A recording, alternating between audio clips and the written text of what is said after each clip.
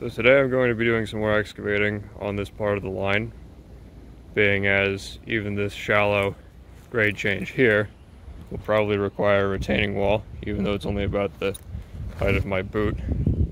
And so as I've been doing so much work with loose stone there, I don't exactly uh, think I'm going to be using loose stone here. So I've decided it's time to take a more modern approach and use some cinder blocks and bricks. So I will be putting those along here and overall lowering this grade to meet up with the switch.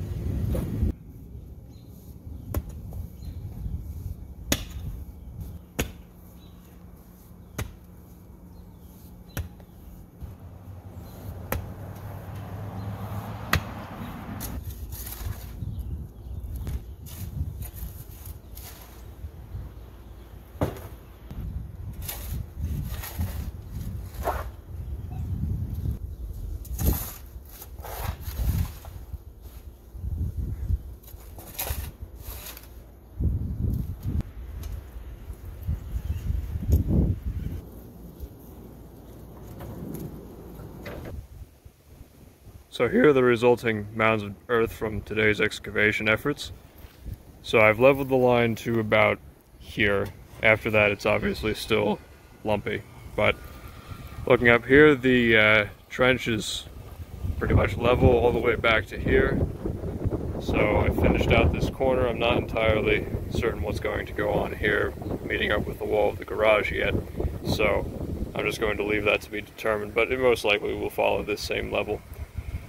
So I'll be placing the cinder blocks, at least as many as I have, along this length now, and they'll just essentially sit. I do plan to either uh, spike them into the soil or uh, with, pieces of rebar or uh, cement them in place, but since it's only one course, uh, it's not entirely necessary to uh, fix them.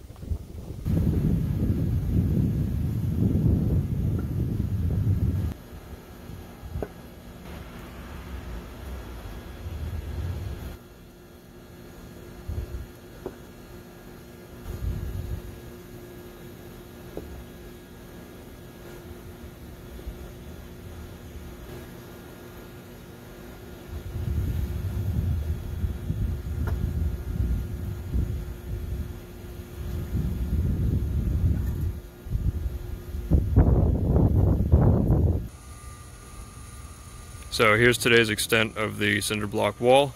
I'm not entirely sure what I'm going to do at this point here where it starts to uh, taper down and actually become raised because obviously I need to think of some way to deal with having it raised on one side and then fall off on the other side.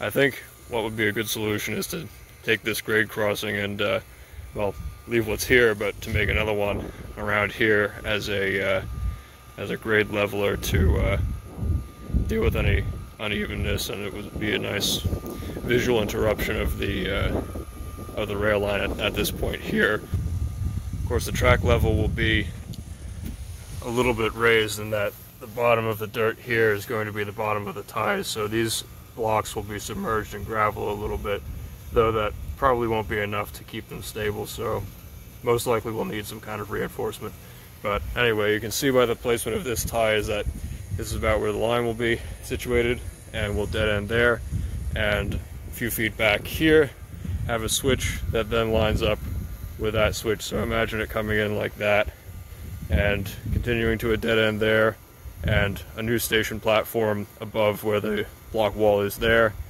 and uh, something of that nature. So a lot more work to be done.